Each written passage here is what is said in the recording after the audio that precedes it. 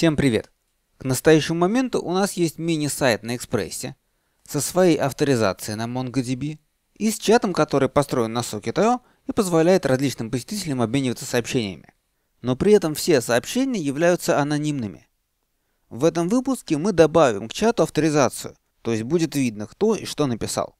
К счастью, сделать это достаточно просто, необходимо лишь понимать, как это все работает и что конкретно мы хотим получить. Взглянем на код. В нем легко видно, что есть две части приложения. Первая – это Express, который работает на middleware и при помощи роутов обрабатывает HTTP запросы. Вторая часть – это Socket.io. Socket.io у нас реализован вот этим модулем. Он получает сервер и вешает на него свои обработчики. И про Express Socket.io ровным счетом ничего не знает. Это два параллельных мира. Соответственно, если запрос приходит через Socket.io, то он понятия не имеет о том, как он обрабатывался в экспрессе, какой это посетитель, какая у него сессия и так далее. Для того, чтобы эта информация у сокета была, ее необходимо ему в явном виде передать. Как это сделать? Давайте вспомним, как вообще осуществляется авторизация. Есть протокол HTTP или, скажем, HTTPS, неважно. И браузер говорит серверу, пожалуйста, я тут хочу войти, вот мой логин, пароль, пожалуйста, сервер проверь их, и если все хорошо, дай мне доступ. Сервер думает, и в ответ браузеру отдает, если, конечно, все в порядке, Session ID, идентификатор сессии, который браузер запоминает в куке. В Express он обычно подписан, как мы видели. Ну, да это не так важно. Соответственно, при следующих запросах браузер будет обращаться к серверу, используя Session ID. Сервер, получив этот идентификатор, обращается к хранилищу, загружает сессию, в сессии содержится информация о посетителе, и все, сервер знает, ага, пришел Вася. Ну а что происходит, если у нас сокет I.O.? В Socket.io используется протокол WebSocket. Возможно, тоже секьюрный. Соответственно, так как это другой протокол, то при запросе даже на тот же URL кука вот это передано не будет. Потому что есть такое понятие, как э, Same Origin Policy, и если сделается запрос к другому домену или другому порту, или к другому протоколу, то куки не передаются. Ну, это стандартная защита такая браузерная. Соответственно, получается, что сколько бы мы долго не работали с экспрессом, если кука есть на HTTP, то по веб-сокету при подключении через сокет I.O. она передана не будет. Что делать? Из ситуации есть несколько выходов. Самый простой это просто отказаться от веб-сокета. То есть использовать HTTP протокол, long polling и все будет хорошо. Ну, допустим, мы все-таки хотим остаться на веб-сокетах. Следующий вариант это взять и исправить вот эту вот куку session ID. В конфиге сделать для нее HTTP only false. Теперь эта кука станет доступна из JavaScript. И таким образом клиентский JS, используя document.cookie, сможет ее получить и переслать по веб-сокету просто дополнительным пакетом данных при подключении. Соответственно, это будет работать, но этот вариант не очень хорош с точки зрения защиты, потому что Session ID теперь становится доступен всем. Если у нас где-нибудь хакер XSS внедрит, то он получит Session ID. М, не идеально. Что ж, есть еще и третий вариант. Вместо того, чтобы делать Session ID доступным JavaScript, мы делаем так. Браузер, когда хочет подключиться по WebSocket, делает запрос серверу. Это будет обычный HTTP AJAX запрос, поэтому будет передан Session ID, и браузер в нем скажет, что он хочет подключиться к WebSocket и запросит у сервера специальный одноразовый WebSocket ключ. Сервер сгенерирует и сохранит в базе данных специальный временный идентификатор. Этот идентификатор будет достаточно длинным, чтобы быть уникальным, чтобы его сложно было угадать, и он будет привязан к этому Session ID. То есть, условно говоря, в базе сохранится вот такой вот объект. И у него будет некоторый срок годности, например, 60 секунд. Дальше браузер получает этот самый ключ, и следующим этапом он делает WebSocket соединение. И в этом WebSocket соединении при установке он этот ключ на сервер передает. Соответственно, сервер получает этот ключ, может залезть в базу данных и увидеть, ага, у меня есть такой ключ, вот такая сессия. Значит, это Вася устанавливает WebSocket. После этого он эту запись из базы данных удаляет. Такой подход более безопасен, поскольку идентификатор сессии остается закрытым а клиенту передается вот такой временный ключ для WebSocket соединения. С другой стороны, конечно, здесь есть все равно некоторые возможности для взлома, потому что все равно эти данные проходят через JavaScript, ну просто эти возможности несколько меньше. Каким вариантом из перечисленных будете пользоваться вы, зависит от вас, от вашего приложения, от ваших требований к безопасности. Так как здесь мы используем Socket.io, то мы будем использовать встроенный вариант решения этой задачи, который примерно соответствует вот этой вот последней самой безопасной схеме. То есть я возьму в config JSON, верну HTTP only true, и дальше запущу это приложение, чтобы мы могли увидеть, что именно делает Socket.io. Запускаю, открываю в браузере, перезагружаю страницу, и во вкладке Network вот что делает Socket.io. Это я загружаю обычные JavaScript, а вот этот запрос отправляется, когда я делаю io.connect. То есть вот здесь вот я выпускаю io connect, и первым делом Socket.io делает обычный JAX-овый HTTP запрос. Вот на такой URL, как вы видите. Этот HTTP запрос, само собой, передает на сервер, в частности, куки. Видите, кука осталась HTTP only, она передается на сервер. И в ответ сервер передает всякие настройки для транспортов и, конечно же, ключик. Вот он этот WebSocket ключ. Теперь, когда клиентский код его получил, он делает следующий запрос уже на WebSocket. И на WebSocket он делает, видите, используя такую вот прибавку курлу. То есть таким образом серверная часть Socket.io узнает, ага, вот у нас этот идентификатор, а куки для него мы уже получили. Вот здесь. Давайте посмотрим, как эти куки будут доступны из нашего Socket.io кода. Для этого есть специальный объект socket.handshake. Перезапускаю, захожу, а, у меня автоматически пересоединение, поэтому даже в браузер переходить не обязательно. Вот. Видите, headers. И здесь находится наша кука. В socket.handshake как раз хранятся эти данные, которые использованы при изначальном соединении. Я могу в любой момент их получить. Следующим этапом мы откроем Socket Authorization, вот документация, страница по тому, как осуществлять авторизацию с использованием Socket.io. Здесь есть специальная такая настройка, которую мы чуть раньше пропустили. Вот она. IO Set Authorization. Здесь я могу установить функцию, которая сработает при соединении. Она получит данные, которые мы видели чуть раньше, включая куки. Эта функция может залезть в базу данных, загрузить сессию, и затем она должна вызвать callback. В этом callback она указывает либо true, если все хорошо, либо false, если в авторизатор следует отказать. Соответственно, этот обработчик сработает до обработчика connection, и если здесь в callback вернуть false, то никакого connection не будет. Такой вот встроенный механизм авторизации для Socket.io. В этом обработчике мы должны загрузить сессию, используя seed из handshake cookie и проверить, кто к нам пришел. Для того, чтобы это сделать, нам понадобится storage для сессий.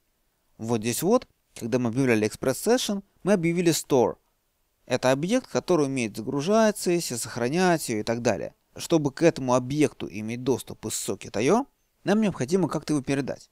Ну как? Самый простой способ в данном случае – это выделить его в отдельный модуль. То есть я создам модуль sessionstore.js и перенесу вот это вот в него.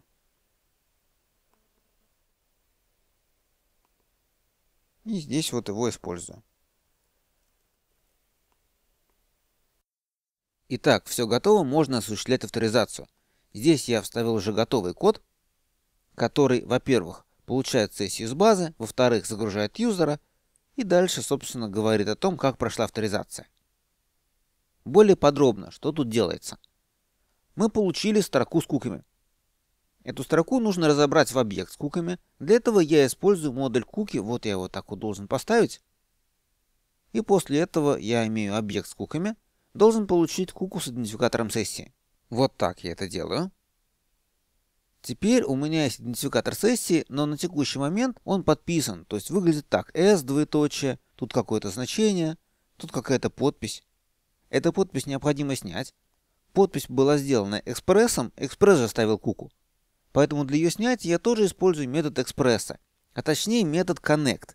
Connect, как мы помним, фреймворк, который внутри экспресс используется, Здесь, чтобы напрямую обратиться к его методу, я ставлю его сюда же, вот так вот, npm install connect. Метод connectUtilsParseSignedCookie снимет подпись.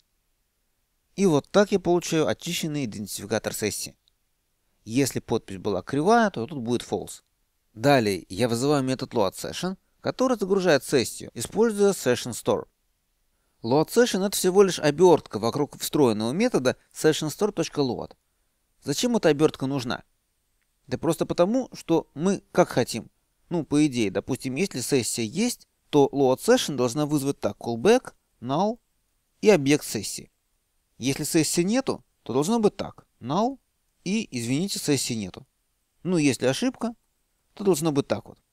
Это стандартное соглашение о вызовах колбеков в библиотеке async. А вот sessionstore.load его немножко нарушает. То есть, если сессия есть, то он вызовет callback вот этот вот, вот так вот. Если ошибка, то он вызовет callback вот так вот. А вот если сессии нету, то этот метод вызовет callback просто так. Вообще без аргументов. А на самом деле правильно было бы вот так вот. Это нужно для того, чтобы удобно было передавать управление дальше через waterfall. Ведь async смотрит, со сколькими аргументами был вызван callback. Поэтому мы просто трансформируем вот такой вот вызов без аргументов вот в такой. То есть осуществляем адаптацию такого кривого вызова callback, который есть в SessionStoreLoad, к реалиям библиотеки async. Теперь у нас callback вызывается как надо. Я могу передать управление дальше вот сюда вот. Видите, load session получает callback асинковский и передает сюда. Соответственно, если сессия есть, она будет здесь. Если сессии нет, то здесь будет null. Если была ошибка, то управление перейдет в конец. если сессии нет, то мы генерируем ошибку, поскольку при подключении по socket.io какая-то сессия должна быть. Дальше мы загружаем пользователя. Как мы помним, ID пользователя хранится у сессии в свойстве user, которое вот здесь мы используем если юзера нету, тогда load user возвращает дальше null. Если юзер есть, возвращает юзера. Ну, все как обычно. Соответственно, в конце, если юзера нету, то мы тоже возвращаем ошибку. То есть socket.io может здесь попасть только юзеру, у которого есть сессия авторизованный. В вашем приложении, если оно будет другое, то вы можете несколько ослабить эти требования. Вы можете только получить сессию, а юзер, например, вовсе не загружать, если он не нужен. Здесь я загружаю сессию, загружаю юзера. И сессию юзера я записываю в объект handshake. Этот объект будет доступен далее, когда мы будем обрабатывать уже соединение в событии connection. Соответственно, вот мы прошли это, прошли вот это. И в конце мы смотрим. Если ошибки не было, то авторизация произведена успешно. Если ошибка была, и это ошибка, которую мы сами сделали, тогда мы просто сообщаем, что, увы, авторизация не прошла. Ну и наконец, если это непонятная ошибка, то передаем ее дальше колбеком и Socket.io с ней как-то разберется. Залогирует ее стандартным логером. Соединение в этом случае, конечно же, не произойдет. Итак, в итоге у нас есть authorization callback, который обрабатывает авторизацию. И теперь при соединении мы можем получить из Socket Handshake юзера имя того, кто подключился, и вообще любые его данные.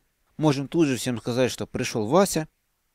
Можем, когда Вася уйдет, Тут же всем сказать, что Вася ушел. И, наконец, вместе с сообщением мы теперь будем отправлять не только текст, но и юзера, который его отправил. Для того, чтобы это нормально работало, необходимо немного обновить клиентскую часть. К счастью, делать это весьма просто. Достаточно добавить дополнительный аргумент к message и дополнительные события leave и join. И, соответственно, печать теперь будет осуществляться специальными функциями printMessage и printStatus. Вот они в конце. Давайте посмотрим, что мы получили, как это выглядит. Я открыл два браузера. В первом из них ходим вот так вот, во втором ходим вот так вот. Привет. Да, я тут. Видите, вот наше сообщение. А вот сообщение другого юзера. Давайте теперь закрою один из браузеров. Вот сообщение. Итак, у нас получился чат, который умеет работать с юзерами экспресса. Вот юзер, а в Handshake Session находится сессия. Следующая тонкость заключается в том, что человек может зайти на сайт, перейти в чат на одной странице и перейти, скажем, на какую-то другую страницу, вот в дополнительной вкладке.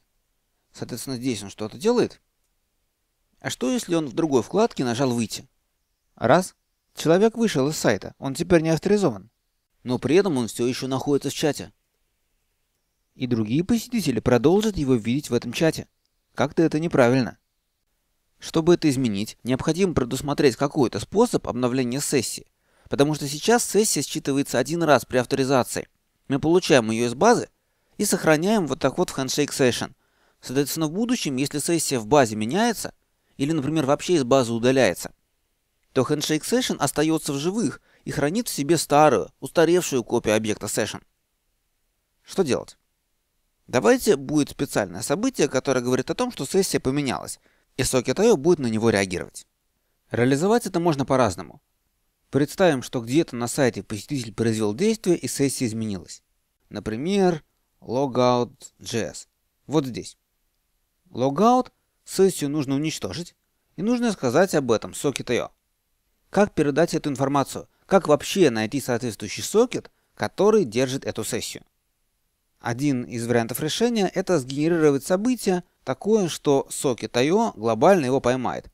IO sockets on session reload. Я здесь могу поставить свой обработчик с любым именем. Он будет получать session ID, идентификатор. И здесь он будет искать сессию с данным ID и обновлять ее. При этом, конечно же, если у нас происходит логаут, то сессия будет уничтожена, и код перезагрузки должен нормально обрабатывать эту ситуацию. В этом случае клиента нужно выбивать из чата, закрывать соединение, потому что он больше не авторизован.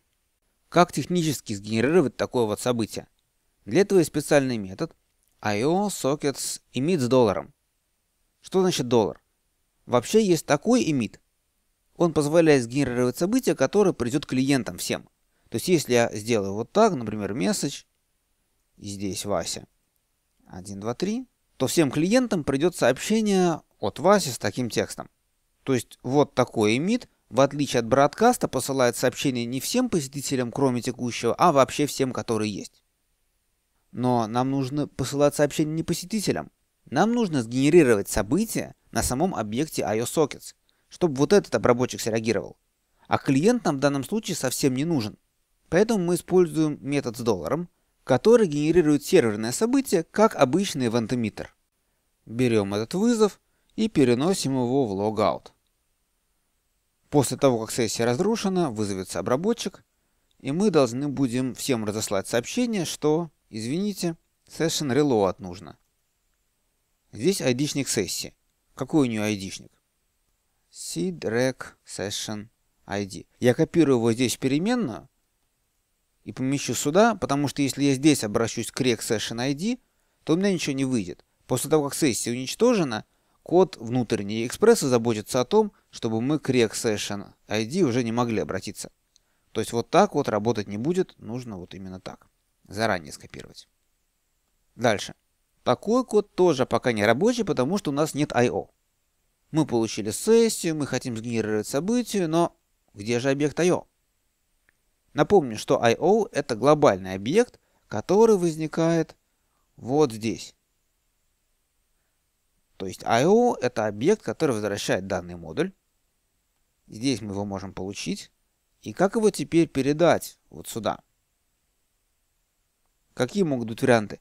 Ну, можно, например, попробовать вынести переменную IO в отдельный модуль. И здесь его прорекварить. С другой стороны, этот вариант сейчас не очень удобен, потому что IO это не просто модуль, это такая фабрика, которая получает сервер. Соответственно, сервер тоже нужно куда-то выносить. Все это, конечно, можно сделать, но мы здесь для разнообразия используем другой способ, а именно up, set, io, io. Можно сделать некоторое значение глобальным на уровне всего Node.js, то есть организовать такую глобальную переменную io через модуль. Либо можно сделать некоторое значение глобальным на уровне application, записав его таким образом. И дальше это up очень легко достать. io, rec, up, get, io. Теперь у меня все готово. Перенаправление посетителя я тоже сюда вот помещу. Итак, у нас есть код, который при логауте будет вызывать session reload.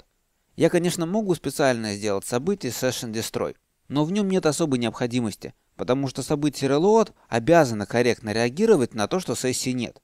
То есть destroy это будет такой урезанный reload. Если мы захотим, мы потом легко его напишем. Также обратим внимание, что при удалении сессии возможна ошибка – по-хорошему, надо бы ее обработать, хотя бы залогировать. Я предлагаю вам поставить скринкаст на паузу и предложить свой код, который это сделает. Поставили, подумали? Окей, теперь правильный вариант. Во всяком случае, один из вариантов. Здесь next. Здесь if r return next r. И теперь сдвигаем этот код на строчку ниже, чтобы даже если ошибка произошла, все равно session reload вызвалась. Хуже от этого не будет, мало ли что случилось. Давайте сессия все равно будет перезагружаться. Окей, отлично. С логаутом в первом приближении покончили. Давайте теперь вернемся к сокетам. Событие мы сгенерировали, теперь надо его обработать. Нужно найти тот сокет, конкретный, который держит эту сессию, и сказать ему ее перезагрузить. Для этого я получу вообще все сокеты. Для этого есть такой вот метод sockets.clients. И дальше пройдусь по ним each. Client. Для каждого клиента я проверю, и если его сессия не совпадает с той, которую я обрабатываю, тогда этот клиент меня не интересует. А иначе я воспользуюсь методом loadSession, который описан здесь выше. Я его вызову и попрошу перезагрузить эту же сессию. loadSession. Вот. Для краткости я вставил заранее заготовленный фрагмент кода, который вызывает loadSession, и дальше смотря, что произошло. Если произошла ошибка, то мы говорим клиенту, извини, у нас проблема. И клиента отсоединяем на всякий случай. Если же сессия не найдена, тогда мы клиенту говорим, ты больше не авторизован, и тоже отсоединяем. Ну а если сессия есть, тогда отлично, у нас новая сессия, я записываю ее в Handshake Session. Тут же можно перезагрузить юзера, если это необходимо. Точная логика того, что и как перезагружается, зависит от конкретного приложения. Давайте посмотрим вообще, как это работает. Запускаю, перехожу в браузер, я зашел в сайт, и теперь я в чате, чат работает. Возьму-ка я, открою страничку в новом окне, и здесь сделаю выйти. Оп. Ну что ж, похоже, я вышел. Все это было очень быстро. И, как легко видеть, меня автоматически выбило из чата. И все, я более не авторизован. Соответственно, здесь все хорошо. Единственное, тут какие-то странные сообщения. Вы вышли из сайта, потеряно, опять вы вышли из сайта. Хорошо бы поменять эту реакцию на более адекватную. Сделать это достаточно легко, если вместо генерации события error генерировать, например, событие logout. Вот я сделаю так logout. И я могу здесь его обрабатывать каким-то особым образом. On, logout. Например, вот так. Обратим внимание, я именно перенаправляю человека на корневую страницу. Это из соображений безопасности. Я не вывожу сообщения, я не оставляю текущую историю чата на экране, поскольку человек вышел, а история чата это все-таки для авторизованных посетителей. После того, как посетитель вышел, посторонние его историю увидеть не должны. Так что я вот так вот перенаправляю его. До свидания. Запускаю. И проверяю, как оно работает. Теперь вхожу. Чат работает. И теперь я в другом окошке выйти. О. Отлично. Все сработало. Авторизацию можно считать условно завершенной. Почему условно? Да потому что в принципе тут можно навернуть много чего еще. Например, можно контролировать, чтобы посетитель мог под своим именем войти только один раз, чтобы не было дублирующихся имен посетителей в чате. Сейчас такого контроля нет. Его очень легко добавить либо при авторизации, либо здесь при соединении. Также может быть удобно вынести часть этого кода в отдельные модули, в частности вынести вот этот код, который работает с авторизованным соединением, сделать какой-то роутинг, который будет более по-умному работать с событиями. Как правило, этот роутинг будет интегрирован с фронтенд частью. На ней вы, наверное, захотите использовать какую-то специализированную библиотеку. Скажем, если вы используете Backbone.js, то можно воспользоваться Backbone и Bind. Backbone и Bind переопределяет механизм синхронизации Backbone встроенный, так что он начинает использовать socket.io. При этом, если мы на клиенте вызовем бэкбоновский метод, который будет создавать некоторую сущность, например, пост, то Backbone отправит на сервер вот такое вот сообщение create. Или удалить. Или обновить. Просчитать. То есть вот такие события уже встроены, готовы. Можно делать и свои тоже. Ну а на сервере можно автоматизировать обработку таких типовых сообщений для работы с моделями. То есть проверять права, если они есть, то создавать, удалять модель, обновлять модель и так далее. Этот чат можно еще долго наворачивать, добавлять в него одно, другое, третье. Но лучше вы будете делать это с теми приложениями, которые вам действительно нужны. Спасибо за просмотр, желаю вам успешной разработки.